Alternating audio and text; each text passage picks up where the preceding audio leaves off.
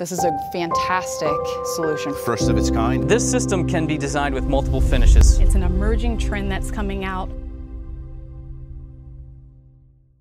So to get started, just uh, explain the basics of, of an expansion joint cover, but maybe an expansion joint. Maybe start with that. Okay.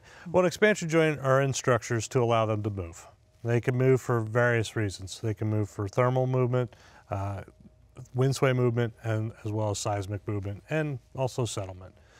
But uh, the expansion joint cover actually covers that opening and allows the buildings to move uh, in in whatever's causing the movement. Mm -hmm.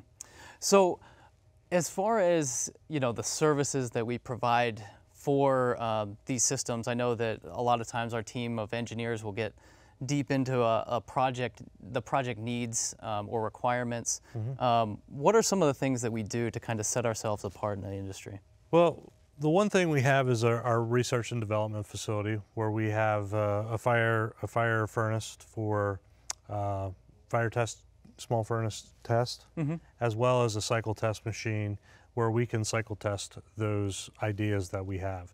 So we have a history of um, the ASTM E1399 cycle test and how it reacts with all our systems so we can modify those systems for the application uh, that an architect may have.